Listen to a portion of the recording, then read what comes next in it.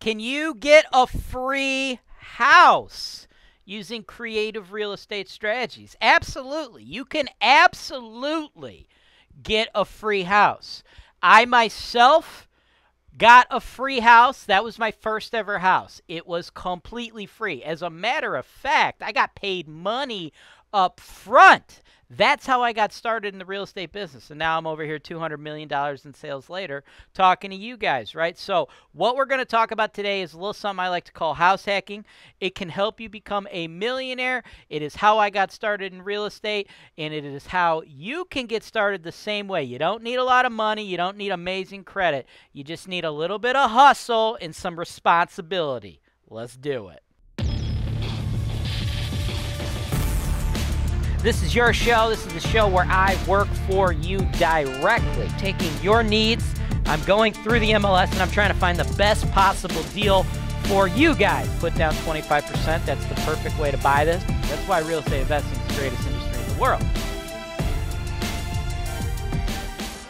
Welcome to the MLS Search and Analysis Show. I am James Wise. For a lot of people that watch this show, y'all know what I do, right? For the new people out there, we talk about real estate investing strategies, tips, tricks. We try to give you the real life experiences of a real estate investor because that's what I do, right? I've been in this game a very long time. I've sold over $200 million worth of investment real estate. We run the largest portfolio of its kind in the Cleveland market. And today I'm working with a Cleveland investor to help him get started in house hacking, which is actually how I got started with that man right there, right? My brother Steve uh, helped me house hack my very first house, right? Eli, you are a Cleveland cat, right? Cleveland guy.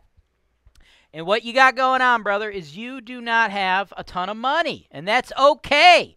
You don't need a ton of money. When I did my first deal, I didn't have a ton of money, okay? You don't need a ton of money, Eli.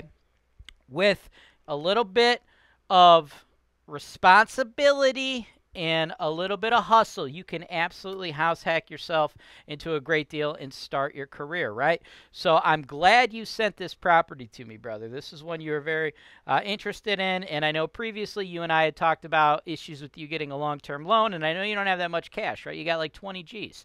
But with this particular deal, so long as you can get the loan, you've been talking to a bunch of lenders, so long as you can get the loan, brother, you're not going to need anywhere near $20,000. You only need like $3,000 to do this deal, right? This could be a very big step for you, brother. I know you and I have also been looking at some wholesale deals too.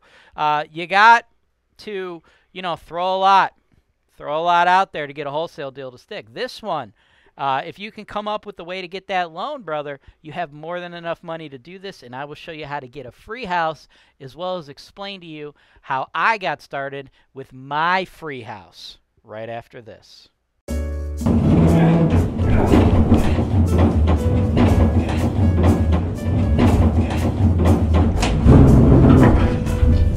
Please. I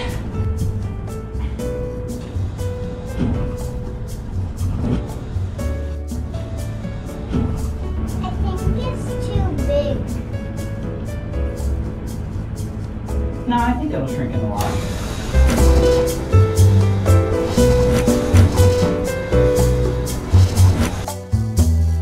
Welcome back, folks. This this is gonna be the meat, the meat and potatoes. As y'all can tell, your boy Jay Wise enjoys meat and potatoes a little too much. God damn, my wife's a good cook. All right, now this right here, this is a house that I'm gonna have you live in for free, folks. I'm gonna have you live in this bad boy completely free, free house, right? It's a little strategy I like to call house hacking. Okay, house hacking. It's how I got started in real estate investing, right? Way back in the day, folks, when uh, Barack Obama, Barack Obama, he was the president. Okay, he was the president of the United States, and we were in the midst of a recession, right? So with my house hack, uh, I actually got paid. I got paid for mine. Uh, we're not in that specific situation anymore, so you're not going to get paid up front for your free house, but you are absolutely going to get a free house. So, What you want to do to get a free house is you want to buy it using the lowest down payment loan humanly possible. Now, I know some lenders are saying they're going to do some type of 0% down loans. Uh, I know you can get conventional loans at 5% pretty easily. I've seen people do 1% loans, but I'm going to use 3.5% because that's the most common low down payment loan I see out there. But if you talk to your lenders, you could probably find some folks that are going to do like 1% or 5%. Truth be told, I don't work uh, with that type of financing product all too often in my business, right? Because my business is solely uh, working with real estate investors who typically are just buying traditional investment properties, right? So in, in the game I'm in, we're usually putting down 25%. But back in the day, right, when I was getting started, I utilized this strategy myself. I utilized a 3.5% down loan, okay? So that's what I'm definitely very comfortable with. And I know that product is out there in the marketplace quite often. But again, loans, lending situations are changing quite often. I, I, think you guys could probably find yourself some 1% down loans, maybe even a no money down loan, okay? Now, when I did mine, I was supposed to come up with 3.5% down. But as I said, Barack Obama was the president. We were in the middle of the housing uh, Steve, help me. The housing crisis, the housing crisis, right? We're in the middle of the housing crisis. So uh, Barack Obama was giving anybody that bought a home like 8,500. Okay, my house was only 85,000, right? Because it was the middle of the housing crisis. That house today, I still own it. I got tenants in there. Uh, that house is probably worth 140, 150,000, right? But they gave me 10% of the value of the house back then. So uh, I only had to come up. Uh, it was 85,000. So what is that? Um, it was 85,500 actually. 85,500 times 3.5%. I needed to come up with about $3,000, but because of Obama, I, I got eight 8,500 from the federal government. Now, uh, back then I wasn't savvy enough to get my closing costs paid for by the seller at that time, so I had some closing costs as well. But in addition, in addition to that 8,500, I actually did get another 8,000 from the city, right? Because there was actually a, a city uh, grant that was available as well, another 8,000, another 10%. So I got a total of $16,000 paid to me uh, to buy a house that only needed like 3000 down plus closing costs. So it was a really sweet deal. Okay, now don't get too excited. Don't get too focused on that, folks, uh, because that was back in the day during the, the worst housing crisis of the world, right? Government, everybody was doing anything they could to get people to buy homes, right? Coming out of the foreclosure crisis. And what I did with that home, I bought it, I lived there, I rented out uh, the entire basement to my brother, as you see doing the filming right now, right? He was my very first tenant. We built uh, his basement apartment over many, many Four Lokos. And folks, for those of you in the know, remember that, Steve? That was the real Four Loko, not the new Four Loko, right? That that was the Four Loko that's like outlawed. So I think your bathroom was like, how was your wasn't your bathroom wall like totally crooked the whole time? oh yeah, it was a little crooked. Yeah, that's what happens when you build a bathroom with a four some some original Four Lokos in you. But that that's not the point.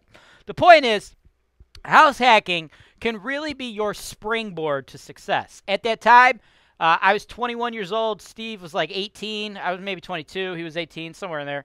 Uh, we're four years apart, right? Just turned 22. Yeah, 18, 17 turning 18, 21 turning 22, somewhere right in there, right? He was just out of high school, okay? And he became my first tenant. I did that house hack, right? And then I lived there for several years and then eventually moved on, of course, right? And we got tenants in there. Holton Wise is managing it to this day. Again, it's worth like 140 G's. I think my tenants are paying like 1150, 1200 in rent. I've had the same tenants in there for the last like 4 years, right? So I don't even have to think about it, right?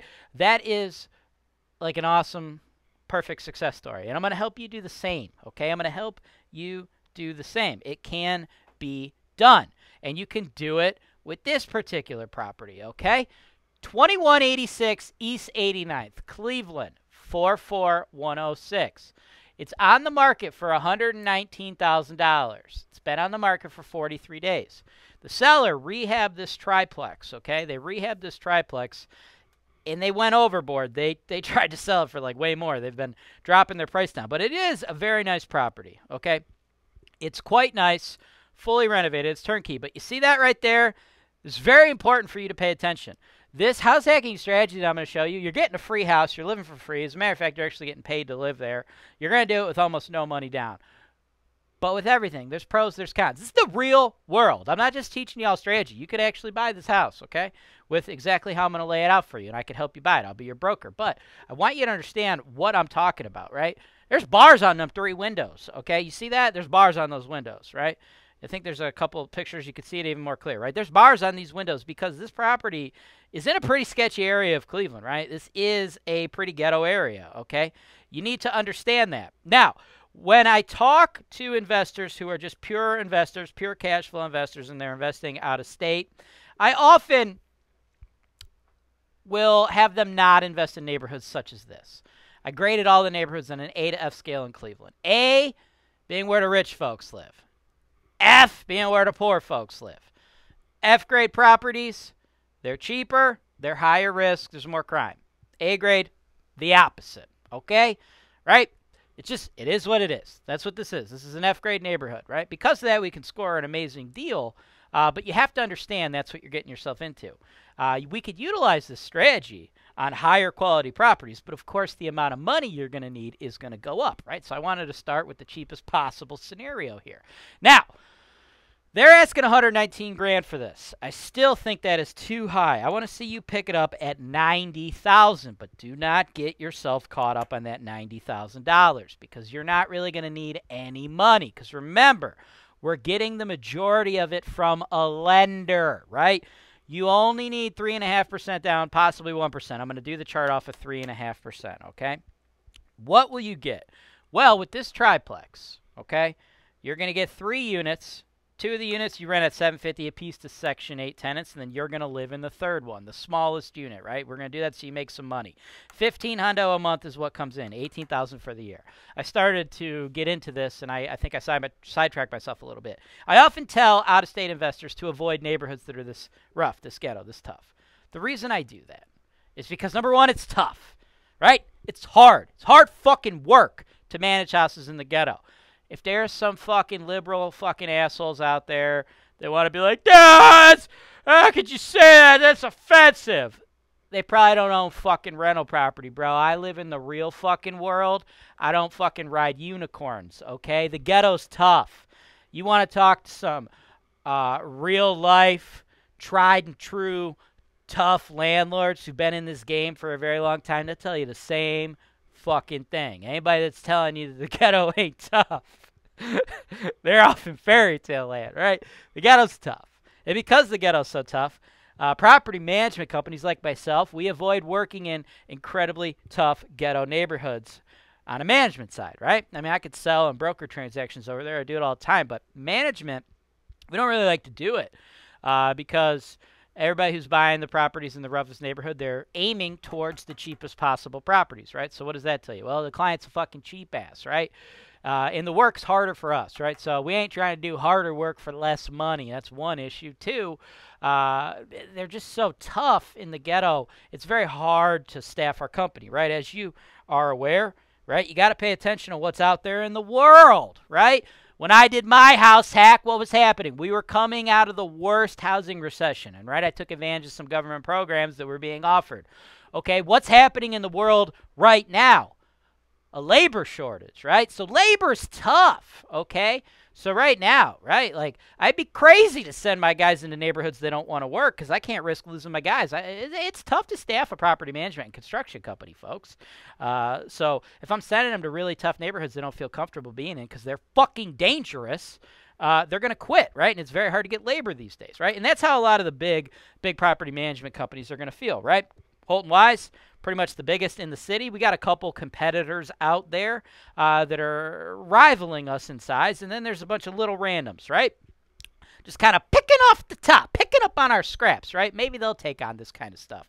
But if you can't get the biggest, most sophisticated companies to work there, you're only able to get people uh, that can't get a decent market share because a maybe they're not as good or b they're they're new and they're not proven they're not tried and true they don't have their systems in place or maybe they're just like running an illegal property management company. You got to think of all these things right? Why would you take harder business for less money than everybody else right? Because you can't get you know a normal share of market business with your products so you're obviously not that good right? So you got to think of that right? So because of those reasons i tell out of state investors dude let's just go something a little less risk for you. I think it'd be too tough for you to pay me, uh, for me to make money to make it worth my while, and get you money and deal with the difficulty of the neighborhoods. All of that, of course, is completely different when you're actually going to live there, right? It does become easier to manage the asset because you can sit there every single day and watch your asset like a motherfucking hawk, right? As a property management company, you as a uh, out-of-state investor, you can't pay me to have a guy sitting in the driveway every day, right? You'd have to pay me X amount of dollars per hour for every hour he sits there, right? That would be more than your rent. Doesn't make sense obviously, right? But if you live there, you can essentially do that, right? So you could really uh, keep things in line and keep on them like a, a, a laser focused talk, right? I talked about tried and true rough, tough landlords. Man, there's a lot of savage, rough, tough landlords that I know that are local. They've been doing this their whole career, and they gobble up money in the ghetto, right? They make a lot of money in the ghetto.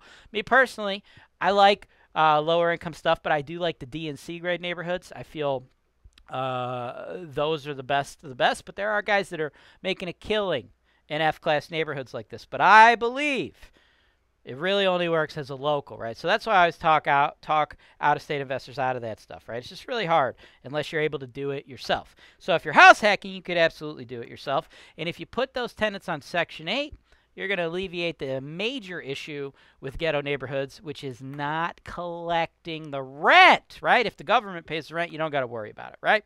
So, with all that told, you're living in the smallest unit, you're bringing in 1500 from the other two units, okay? Of that 1500, I believe you're going to spend approximately $999 operating your property. Repairs, maintenance, your taxes, you got to pay insurance, you got to pay water, sewer for everybody. I think your water sewer estimates are going to be a little lower than what a normal investor uh, would um, be paying, right? Because you're there all the time. If you see people turning on the outside spigots or doing this or doing that or running this or that, you know, you could nip it in the butt right then and there. Where if you're not physically on site, you don't find out about that kind of stuff till later, right? So, uh, if you guys watch some of my other shows, you'll see uh, for a triplex, I would normally estimate the water sewer usage to be a little higher. Uh, here, we could estimate it to be a little lower. Also, because you are going to live there, I would assume you're going to use less water than your tenant because you're paying the motherfucking bill, right? So, all told, I believe you'll make about twelve thousand dollars a year, right? Eleven thousand nine hundred ninety-five. Now, this is where it gets really juicy, right? Free houses, right? Free houses! $90,000, but all you need to do is put down 3.5%, folks. That's only $3,150, right? Who can't come up with $3,000? Very easy to come up with $3,000, and you don't need to have an amazing credit to get a mortgage. You got to have reasonable credit, right? I think they're doing these owner occupant loans like with credit scores 550 and up, right? Uh, don't quote me on that. Again, it's not my normal cup of tea, uh, but I think it's 550 and up. Could be 600 and up for the FHA, right? So you only put down 3,150, right? Only put down 3,150. Your mortgage will be 366 a month. So after you pay off that mortgage, you are clearing 634 a month or 7600. So now you don't have to pay your mortgage, right? You don't pay a mortgage to somebody else. You're not paying for the roof over your head. You're living completely free and you're making an additional $7600, right? You will pay back your 30 3100 or whatever it was investment in as little as six months then you're just completely in the clear right? A 241.5% cash on cash return. That's why so many people utilize the house hacking strategy. Best of all after 12 months guess what you can do? You can move out and do this again on the next property. You could easily stack 10 of these deals about three grand per deal right? You're making shit you do your 3100 up front, live there for a year, and the following six months, right? The first six months you pay off your original investment. The next six months you made enough money to fund the next one, right? You could essentially string these along for 10 years and become a millionaire in real estate, folks. That's what you could do. Free houses. This is the strategy I got started with. Obviously, if you've been around Cleveland, you see my trucks, you see my signs, you know what's going on. The strategy works. The question is, is it going to work for you? Do you want it to work for you on this property, or are you looking to maybe pay a little bit more for a property uh, to be in a nicer neighborhood? Do you want to take on the risks and, and the hard work that is needed to make something like this work for you. Thanks for watching. Subscribe to Holton Wise TV for more financial information, education, and entertainment.